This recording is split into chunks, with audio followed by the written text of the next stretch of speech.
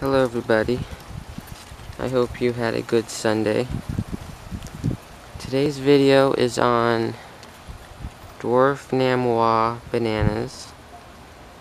This is my bunch that came out. It's a small bunch. It's first generation. In other words, this is the tree I planted as a little tissue culture. But that pup will be a second generation tree. And that'll make a much, much larger bunch. And that little pup is from this pup, from the parent, and that will be a third generation tree. And that should make a very large bunch. Anyway, this is an average bunch for first generation.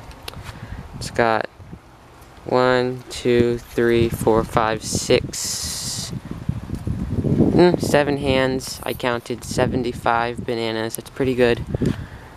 See, it's right here. This fence is five feet tall. You can see how short that thing is.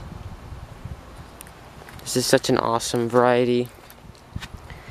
So you can easily reach it. You don't have to prop it. They make large, large, large bunches once they get going. So anyway, I'm super excited to have this variety now. I know Life in Florida grows it. And I'm jealous of her. I'm jealous of your big clump of bananas you have there. so anyway, thank you for watching, and I'll catch you next time.